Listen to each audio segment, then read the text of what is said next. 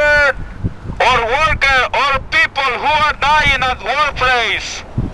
Estamos aquí este día porque queremos recordar, estamos en memoria de nuestro compañero, de nuestra gente trabajadora que está muriendo en los lugares de trabajo.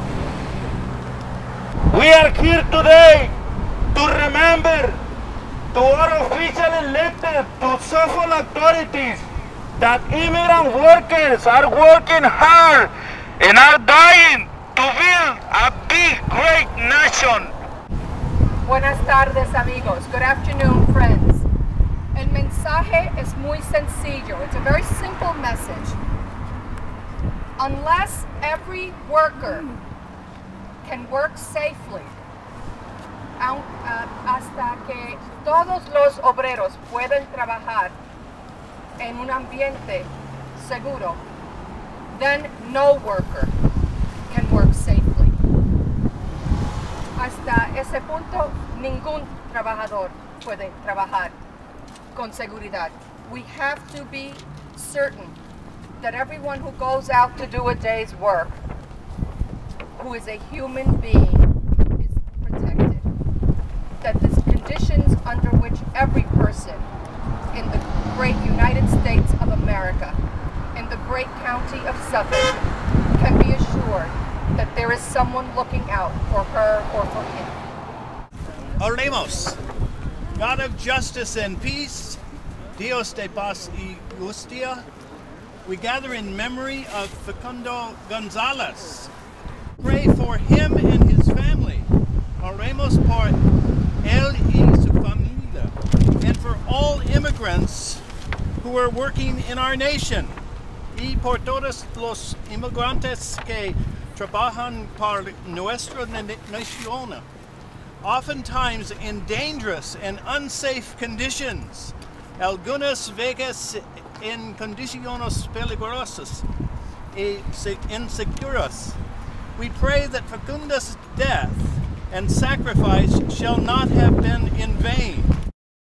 OSHA's been gutted by a range of administrations and it needs to be more fully funded. We need more inspectors. We need stronger regulations um, and real penalties. To be honest, OSHA has very weak penalties compared to the EPA and other agencies.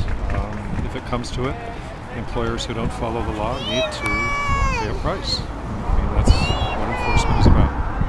We'd like these incidents to not just be statistics, so we wanted to focus on an individual, Facundo Gonzalez, and his story a little bit, um, but also bring people's attention to the fact that this is happening here in Southampton. It happens, you know, pretty much everywhere, unfortunately.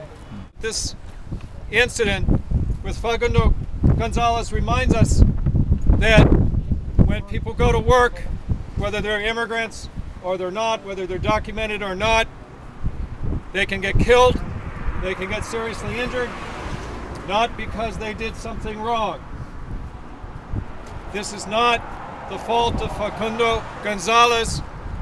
This is the fault of the employer who failed to follow regulations, and this is the fault of a political machine in our country that has gutted OSHA and other agencies that are empowered protect people from needless death and injury. Todos unidos, todos unidos, todos unidos, todos unidos.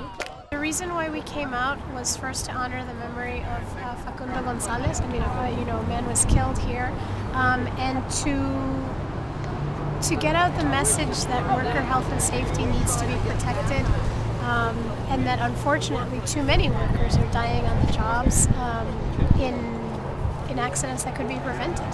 If there were uh, if there were inspections that were actually checking out workplaces to make sure that workers' uh, health is protected, um, if the employers were looking out for their workers, um, if any of that was happening, then some of these deaths could be prevented.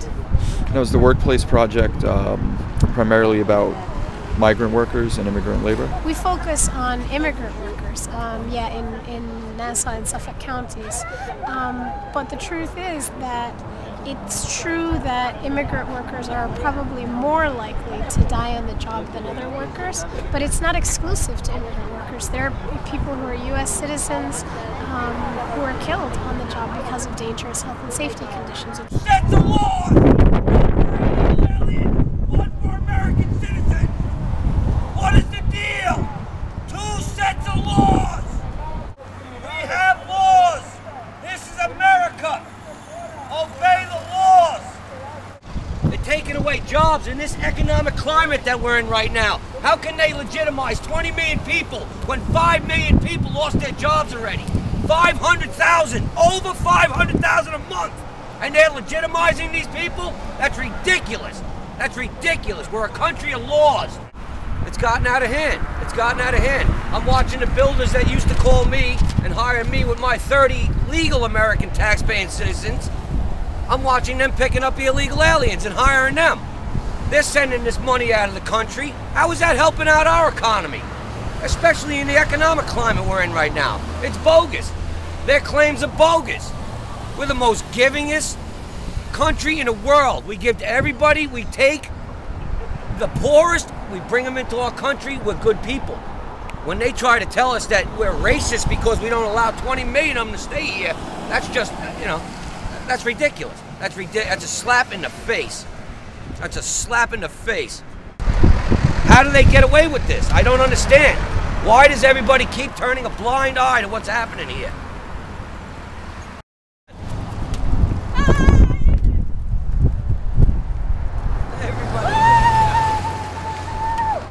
Let's try to obey some laws here. Let's try to obey some laws. Are you protesting border jumping? We're just here because it's fun to dress up as a cow and a and a chef. Where are these costumes from? Hampton Pride Meat Stores. Does this normally help sell meat?